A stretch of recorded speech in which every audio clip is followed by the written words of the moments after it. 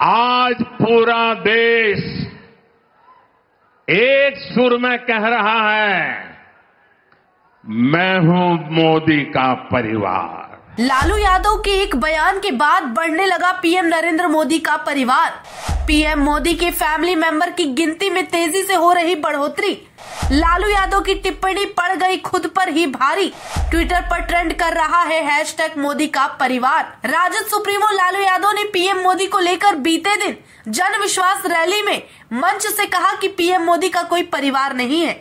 इस बात को एनडीए ने इतनी गंभीरता से ले लिया कि वो पीएम मोदी के परिवार को बढ़ाने में जुट गए।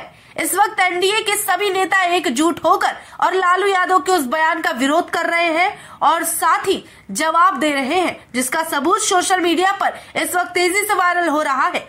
ट्विटर पर पीएम मोदी को लेकर उनके सपोर्ट में हैशटैग मोदी का परिवार ट्रेंड कर रहा है।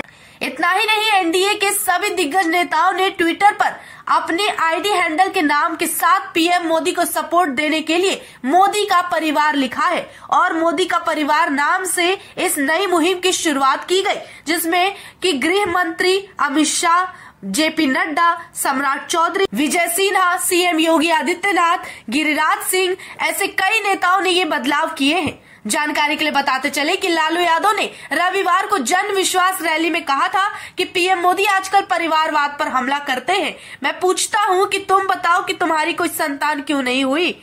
आगे राजद सुप्रीमो कहते हैं कि उनके पास तो परिवार ही नहीं है, वो तो हिंदू भी नहीं है। उनकी माँ के देहांत के वक्त उन्होंने बाल दाढ़ी तक नहीं बनवाई। दूसरी तरफ़ जानकारी के लिए बताते चले कि पीएम मोदी ने लालू यादव के उस बयान का पलटवार करते हुए मुँह तोड़ जवाब दे दिया है और कहा है कि मैं जब भी परिवारवाद की राजनीति की बात करता हूँ तो विपक्ष के लोग कहते हैं, मोदी का तो परिवार नहीं है। इस पर पीएम मोदी ऐसी बात कहते हैं जिसके बाद उन सभी विरोधियों का मुँह बंद हो जाता है। पीएम मोदी कहते हैं कि मेरा देश 140 करोड़ देशवासी ही मेरा परिवार है। देशवासियों के लिए मैं बचपन में घर छोड़ चुका हूँ और इन्हीं के लिए पूरा जीवन खपा दूँगा। पीएम मोदी ने लालू यादव के उस बयान पर आज तेलंगाना से जवाब दिया और विपक्ष पर तीखा हमला बोला है।